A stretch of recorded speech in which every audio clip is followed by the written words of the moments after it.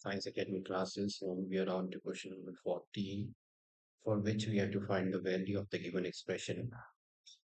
And for that, let's first of all find the value of sine inverse mm, negative half. So this is sine inverse mm, negative half, and we know that sine inverse mm, negative x is equal to negative sine inverse x.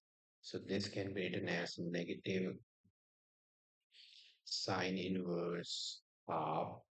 And now let's say sine inverse half is equal to y, which gives us sine y is equal to half and sine gives numerical value half for angle 30 that is sine pi by 6 and y is pi by 6 so that means sine inverse negative half is negative pi by 6 so let's put in the value here.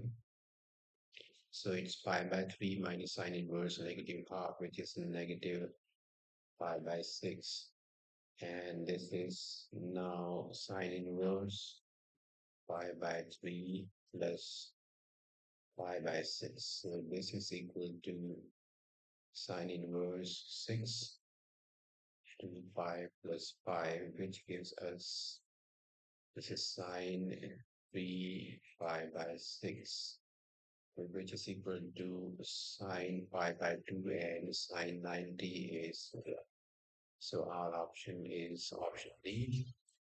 And this is also question number 14. Do like, share, and subscribe. Thank you for watching.